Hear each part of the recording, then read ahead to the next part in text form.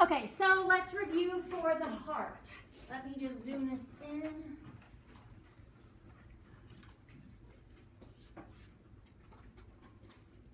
Okay, so anatomy of the heart. Um, the heart sits in what cavity?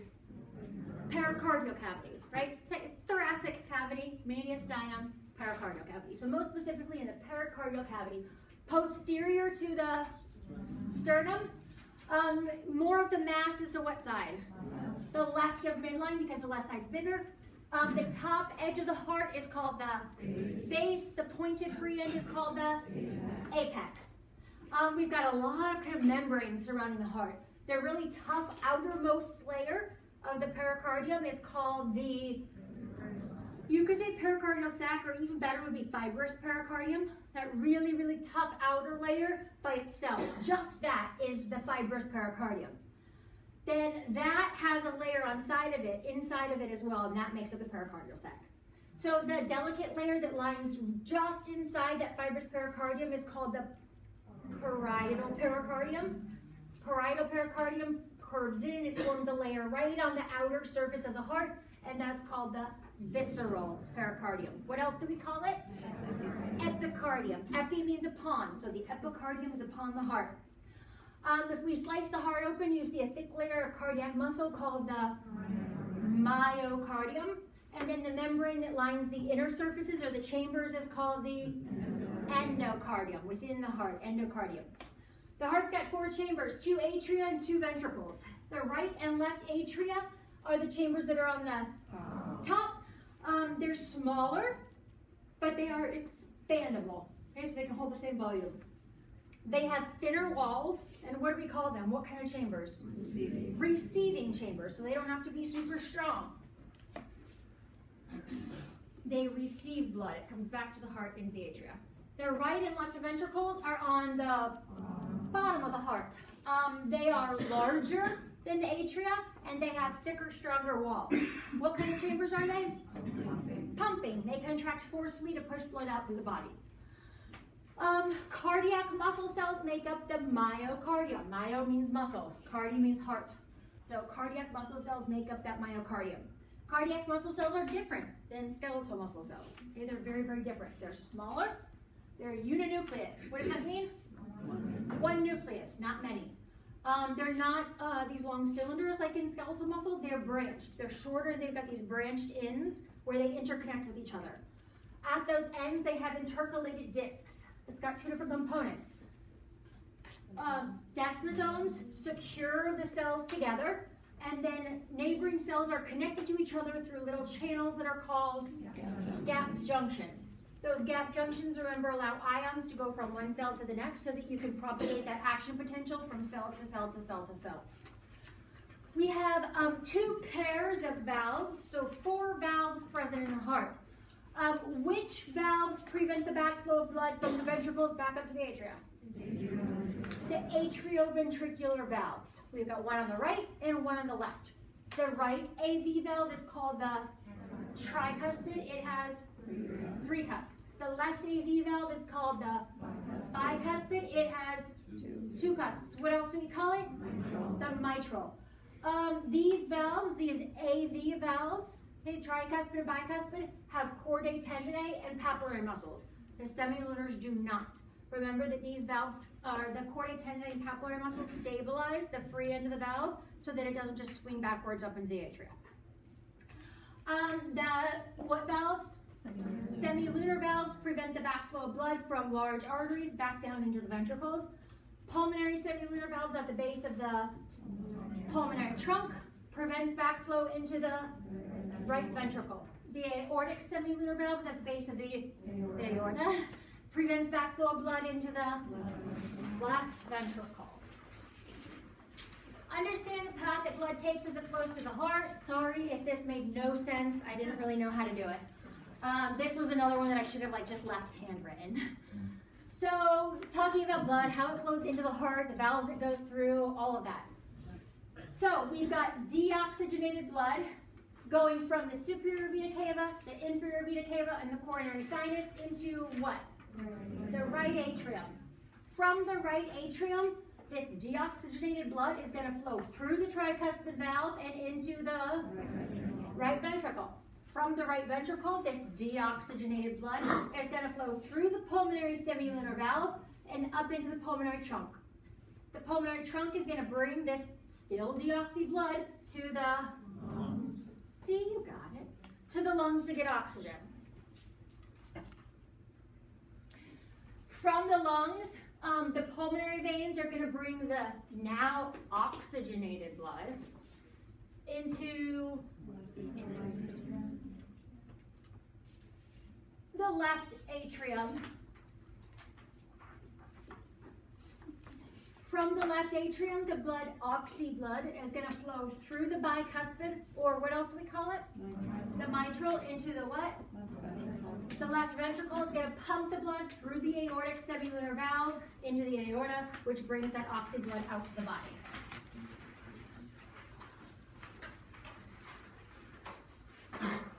Conduction system, remember that's like the electrical system um, that starts the electrical signals and, and um, distributes them through the heart. The heart displays automaticity or autorhythmicity. Um, this means that it can contract automatically without a neuron telling it to do so. Okay, it does that because of this conduction system. Uh, the SA node and AV node possess a prepotential or a pacemaker potential. Um, their resting membrane potential is or is not stable? Is not stable, right? They do not have a stable resting membrane potential. It slowly changes. That's because they slowly depolarize to thresholds. They have leaky what kind of channels? Sodium. Sodium channels. That allows sodium to leak into the cell. Okay, positive charges are what depolarize it. Um, which node acts as the heart's pacemaker? The SA node. Um, why? There's so many ways you could say this. Yeah. Um, it depolarizes faster, right? It depolarizes at the fastest rate. Um, so it sets the pace that the heart beats. Okay, that's what that's what it means. So it depolarizes fastest. That's why. Um, what does this mean? That it sets the pace that the rest of the heart's gonna follow. And so it sets the heart rate. Um, the path of the electrical stimulus. So we just said it starts at the SA node. It goes through the internodal pathways, right, and through the atria down to the AV node. The AV node goes into the bundle, or AV bundle, then the bundle branches, and then the Purkinje fibers, right, which give the stimulus up to the ventricles. Um, the, we've already said this a million times, but the SA node starts the action potential that begins each heartbeat. Action potential spreads through what from the top to the bottom? Atria from the top to the bottom, and then it's delayed at the AV node to give the atria time to actually contract. As the action potential goes down the septum, the ventricles are not yet stimulated, right? We're waiting until we get that stimulus down to the very bottom. Um, the moderator band carries the signal oh, from the bundle branch over to the papillary muscles to secure the AV valve. Um, and then what chambers contract from the bottom to the top? The ventricles.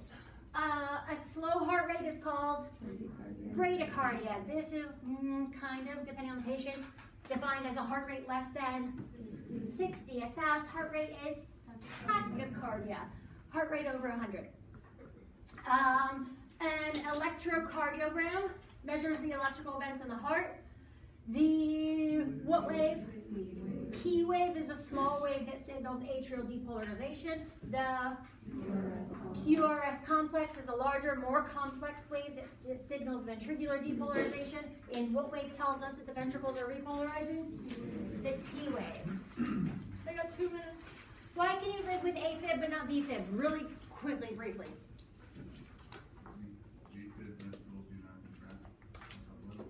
Yeah, the atria aren't pumping chambers, so if the atria quiver, doesn't matter. The blood's gonna drop down to the ventricles anyways. If the ventricles quiver, nothing pumps, right? The ventricles have to pump the blood out to the body, so if they're fibrillating, nothing's gonna work. So that was the electrical cells, the contractile cells. Uh, action potential begins when what kind of ions? What? Sodium ions from a neighboring cell um, bring the cell to its threshold voltage The what phase occurs when the voltage gated sodium channel is open? Rapid depolarization phase. Um, and sodium rapidly enters the cell, making it less negative. Um, the plateau phase occurs when sodium goes out while calcium is let in. What happens to the voltage during this time? Stays pretty stable, right? It plateaus because we got positives coming in and out. Um, and then what phase occurs when potassium goes out? Repolarization. We make it more negative again. Contractile cells have a long absolute refractory period. During this time, the cells cannot respond to stimulus, so they can't contract um, during this long period of time. This refractory period prevents summation and tetoning from occurring in the muscle. Cardiac cycle. Systole is when the chamber does what? Contracts. What does this do to pressure? Increases it. Diastole is the phase when the chamber, what does that do to pressure? Decreases it. Um, during atrial systole, the atria contract, pushing blood down through the AV valves and into the ventricles. During atrial diastole, the atria relax. In ventricular systole, the ventricles contract. We separate this into early phase and late phase, right? We got to pressurize it and then we actually eject. During early systole, the pressure closes the AV valves. Now all valves are closed. Um, this period when the ventricles contract to increase pressure but the volume is stable is called isovolumetric contraction. Good. In late phase, the pressure exceeds the pressure in the vessels, so we open the, the semilunar valves and blood's ejected. Um, in ventricular diastole, the ventricles relax. This is also early and late phase. In early phase, as the pressure decreases, what valves close? The semilunars. Now all the valves are closed again. What do we call it when the ventricle keeps relaxing but the volume doesn't change? Isovolumetric relaxation. Iso means the same. So isovolumetric means same volume. Volume's not changing all the valves are closed. In the late phase of ventricular diastole, the, the, pressure in the ventricles is lower than the pressure in the atria, so the AV valves open and blood flows down um, into the ventricles. The first heart sound, S1, is heard when what valves snap shut? The AV valves during ventricular systole. The second heart sound, S2, is hard, heard when what valves close? Semilunars during ventricular diastole. Heart murmur is an abnormal heart sound. Um, the amount of blood in each ventricle at the end of diastole is the end diastolic volume. This is the maximum amount of blood that the ventricles will hold during that cycle. The amount of blood in each ventricle at the end of systole is the end systolic volume. This is the minimum amount that the ventricles will hold during a cycle. Um, what do we call the volume that we pump out in one beat? The stroke volume. Okay, understand that cardiac output is stroke volume times heart rate. Okay, be able to, um, oh, sorry, stroke volume um, equals end diastolic volume minus end systolic volume. Okay, and um, cardiac output is the volume that's pumped by the left ventricle in one minute cardiac output equals stroke volume times heart rate and be able to use these. Okay, just like the example we did in class, um, and then the scanned page. Sorry, I'm like three minutes over. Um, you guys who have your practical tonight,